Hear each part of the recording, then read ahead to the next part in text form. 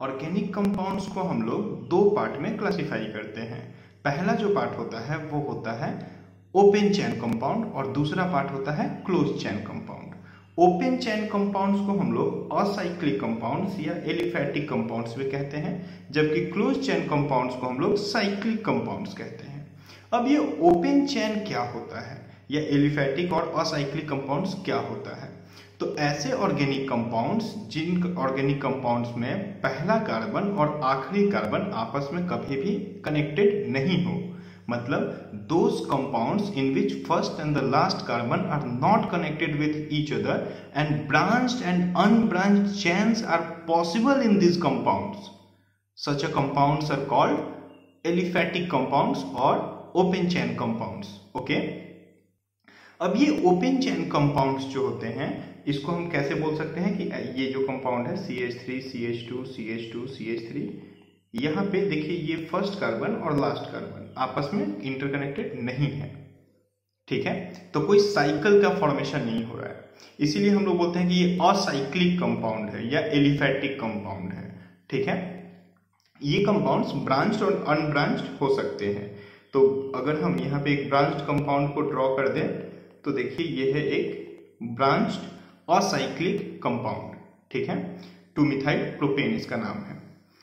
अब ये जो ब्रांच ये जो ओपन चेन कंपाउंड्स होते हैं, ये ओपन चेन कंपाउंड्स दो तरह के होते हैं। एक होता है सेचुरेटेड और दूसरा होता है अनसेचुरेटेड मतलब कि एक स्ट्रेट चेन कंपाउंड या फिर हम बात करें कि एक ब्रांच्ड कंपाउंड जो कि ओपन चैन में है, वहाँ पे दो कार्बन्स आपस में सिंगल बॉन्डेड भी हो सकते हैं और मल्टीपल बॉन्डेड भी हो सकते हैं मतलब डबल और ट्रिपल बॉन्ड भी हो सकता है।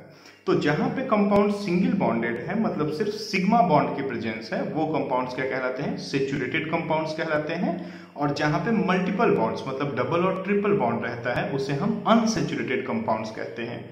तो ये दो तरह का हो सकता है। देखिए, जैसे कि एक सेचुरेटेड कंपाउंड को हम ड्रॉ करें तो यहाँ पे देखिए, ये प्रोपेन को ड्रॉ किया गया है। ये एक सेचुरेटेड कंपाउंड है। यहाँ पे क्या है? सिर्फ़ और सिर्फ़ सिग्मा बॉन्ड्स है।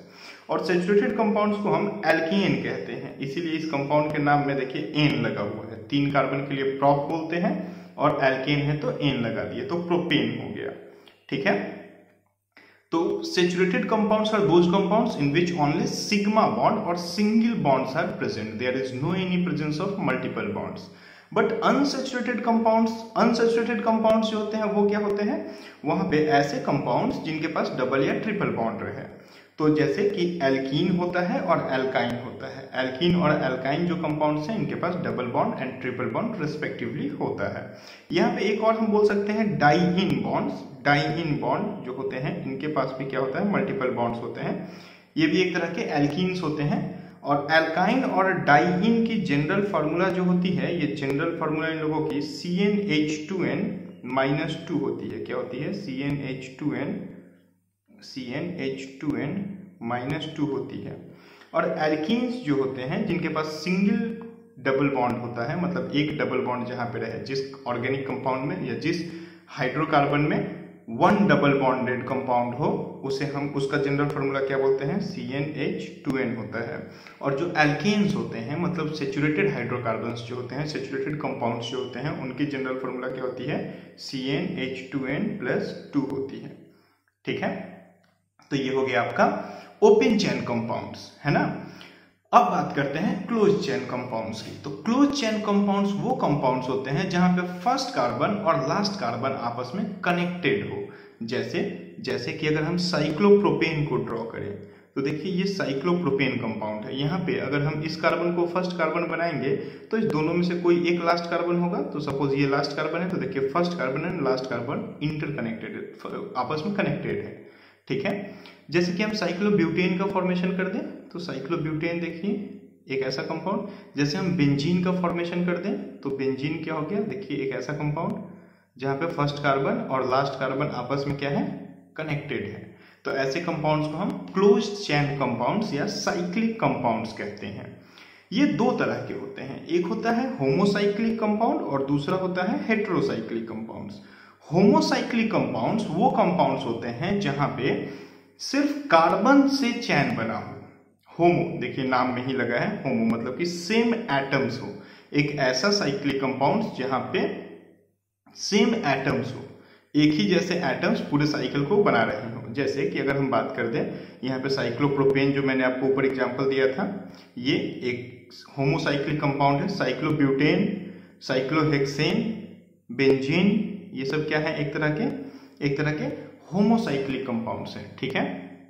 ऐसे ही हेट्रोसाइक्लिक कंपाउंड्स वो कंपाउंड्स होते हैं जिन कंपाउंड्स में कार्बन के अलावा कोई और एलिमेंट भी रिंग में आ रहा हो। मतलब कि साइकिल के को कंप्लीट करने के लिए कार्बन के अलावा कोई और एलिमेंट का भी वहाँ पे प्रेजेंस हो। जैसे कि हम अगर बात कर दें, ये देखिए, इसको हम इपॉक्साइड कहते हैं। इपॉक्साइड एक है है ना? ये एक ऐसा कंपाउंड है जहाँ पे क्या है ऑक्सीजन आ गया। जैसे कि अगर हम आपको ड्रॉ कर दें, यहाँ पे देखिए, एक हम ऐसा एक कंपाउंड ड्रॉ किया जहाँ पे हम यहाँ पे ऑक्सीजन डाल दिए। तो पाँच कार्बन और एक ऑक्सीजन तो क्या हो गया कार्बन के अलावा कोई और कंपाउंड भी आ गया रिंग में। तो एक heterocyclic compounds are those cyclic compounds which is formed one, two or more atoms, which is formed with the help of two or more atoms, right? अब जो होमोसाइक्लिक कंपाउंड्स होती हैं होमोसाइक्लिक कंपाउंड दो तरह की होती है। एक होती है एलिसाइक्लिक और दूसरी होती है एरोमेटिक ठीक है?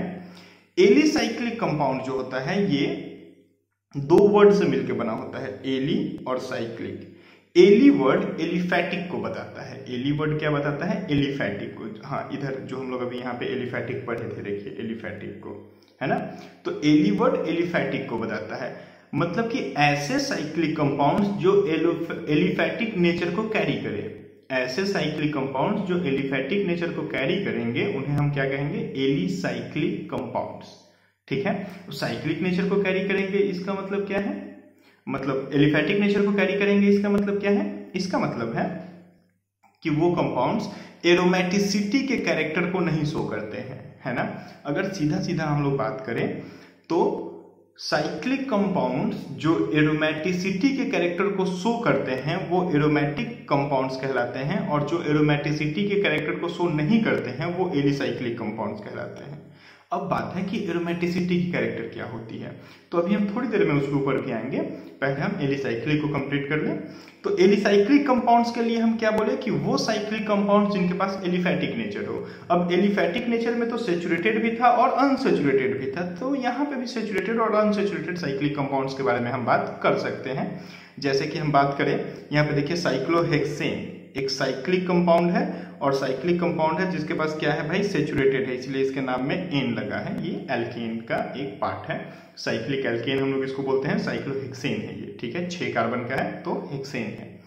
देखिए, यहाँ पे अनसेचुरेशन भी है ब्यूटीन है, जैसे डबल बॉन्ड आ गया तो अनसेचुरेशन आ गया मल्टीपल बॉन्ड्स आ गए यहाँ पे, ठीक है? तो प्रेजेंस ऑफ़ पाई बॉन्ड हो गया।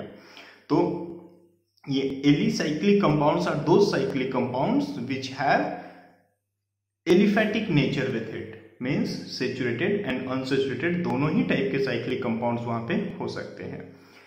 देन हम लोग बात करते हैं एरोमेटिक कैरेक्टर्स तो एरोमेटिक कंपाउंड्स क्या होते हैं? एरोमेटिक कंपाउंड्स जो एरोमेटिसिटी के कंडीशन को शो करें। हम चार एरोमेटिसिटी की कंडीशंस होती हैं। चारों कंडीशंस को जो कंपाउंड शो करेगा, वो कंपाउंड एरोमेटिक कंपाउंड कहलाता है। जैसे कि बेंजीन एक एरोमेटिक कंपाउंड है, जैसे एनुलिन एक एरोमेटिक कंपाउंड है, ठीक है? ये सारे कंपाउंड्स एरोमेटिक कंपाउंड्स हैं। ठीक है? हम आएँगे एरोमेटिसिटी के कैरेक्टर पे भी आएँगे। पहले हेट्रोसाइक्लिक कंपाउंड को कंप्लीट कर लें। ठीक है? तो हेट्रोसाइक्लिक कंपाउंड की तरफ़ आ जाए, आप आ जाइए।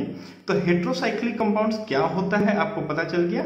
और ये कंपाउंड्स भी दो तरह के होते हैं। एक होता है एलिसाइक्लिक और दूसरा होता है एरोमेटिक एकदम सिमिलर टू होमोसाइक्लिक ठीक है? जैसे होमोसाइक्लिक दो टाइप का होता है, वैसे ही ये भी क्या होता है? दो टाइप का होता है। पहला टाइप कौन सा है? एलिसाइक्लिक और दूसरा टाइप कौन सा है? एरोमेटिक एलिसाइक्लिक के बारे में आपको पता है कि वो कंपाउंड जो एलोफेटिक नेचर को शो करते हुए साइक्लिक कंपाउंड्स है। एलिफेटिक नेचर को शो करते हुए साइक्लिक कंपाउंड्स, एलिसाइक्लिक कंपाउंड्स कहलाएँगे। और यहाँ पे हेट्रोसाइक्लिक है मतलब कि कार्बन के अलावा कोई और एलिमेंट भी रिंग में आया है। जैसे कि हम यहाँ पे बात क्या करते हैं? पेंट्रा हाइड्रोपाइरेट पेंट्रा हाइड्रोपाइरेन कंपाउंड जो है, वो कंपाउंड ऐसा है। जैसे कि हम बात करते हैं इपॉक्साइड कंपाउंड के बारे में। इपॉक्साइड कंपाउंड देखिए मैंने दूसरी बार इपॉक्साइड कंपाउंड का नाम लिया। ये कंपाउंड आगे चल के बहुत यूजफुल होगा, बहुत जगह पे काम आएगा, ठीक है? इसीलिए मैं बार बार आपको इसको, इसका नाम आपको याद करवा देना चाहता हूँ। इपॉक्साइड या ऑक्सीरेन इसको कहते हैं, ठीक है? तो ये एलिसाइक्लिक हेट्रोसाइक्लिक कंपाउंड्स हो गए। एलिसाइक्लिक कंपाउंड्स हो गए, हेट्रोसाइक्लिक कंपाउंड्स में।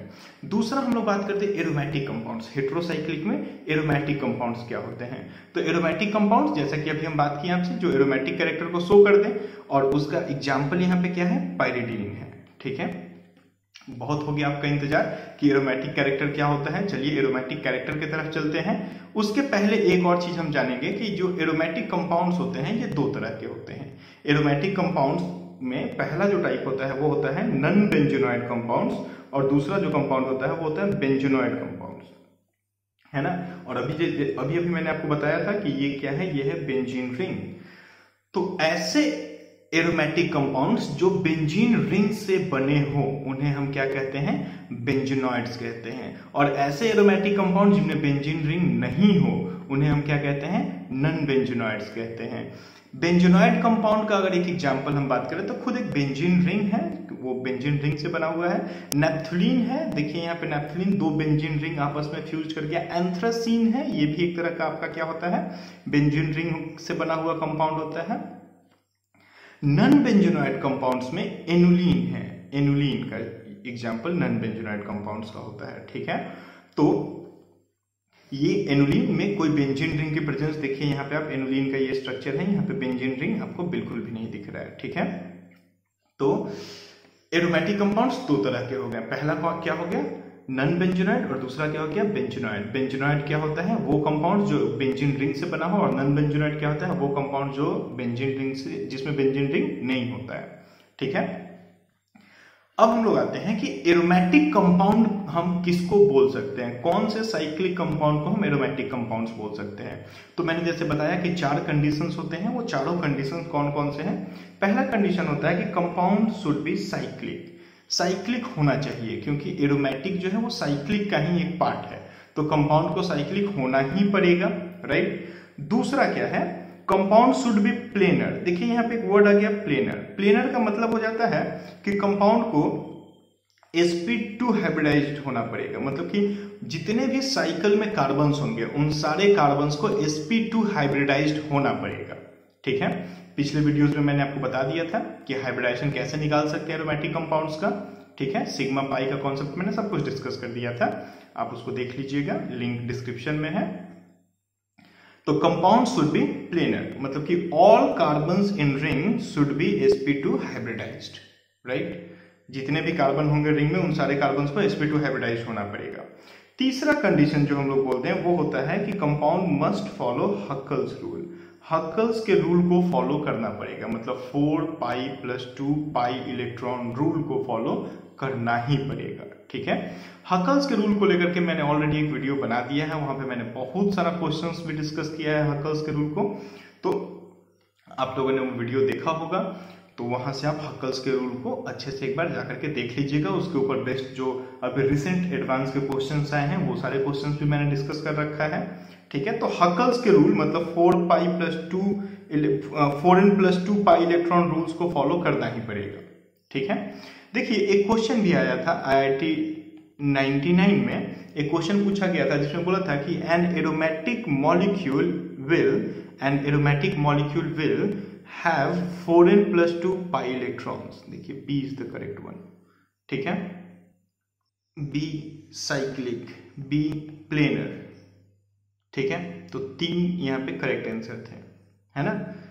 An aromatic compound have four N plus two pi electrons should be cyclic be planar clear है मेरी बात? तो देखिए एरोमेटिसिटी के कैरेक्टर को आपको ध्यान रखना।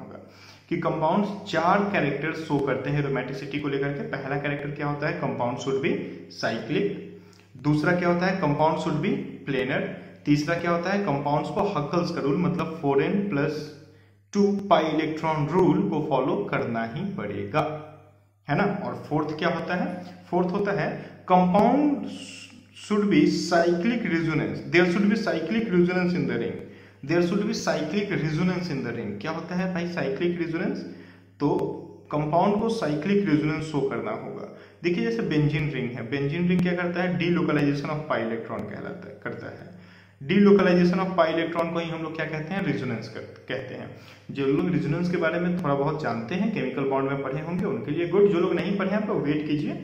बहुत जल्दी रिजोनेंस के ऊपर भी हम लोग वीडियोस को बनाएँगे। हम लोग जब जनरल ऑर्गेनिक केमिस्ट्री में रहेंगे, तब बहुत ज़्यादा हम लोग डिस्कस करेंगे रिजोनेंस को लेकर के। अभी के लिए आप जान जाइए कि पाई इलेक्ट्रॉन डीलोकलाइज हो जाता है। मतलब delocalization of pi electron is called resonance यहाँ से देखिए पाई इलेक्ट्रॉन क्या हो रहा है? डीलोकलाइज हो रहा है, ठीक है? मतलब अपने जगह से टूट के बगल वाले कार्बन पे चला जाता है तो डीलोकलाइजेशन होते रहता है। तो ये साइकिल के अंदर रिजोनेंस होना चाहिए कंपाउंड का। अगर रिजोनेंस होगा तो हम बोलते हैं कि कंपाउंड क्या है? आपका एरोमेटिक हो रहा है, ठीक है? तो ये चारों कंडीशंस जो कंपाउंड शो करेंगे, वो कंपाउंड्स को हम लोग एरोमेटिक कंपाउंड कहते हैं। चारों कंडीशंस को एक साथ शो करना होगा।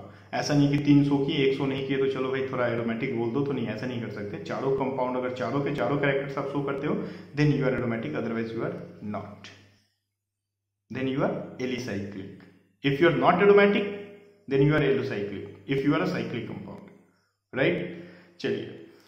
फिर हम लोग नेक्स्ट बात करें कि कुछ ग्रुप्स को लेकर के हम लोग बात करते हैं, ठीक है?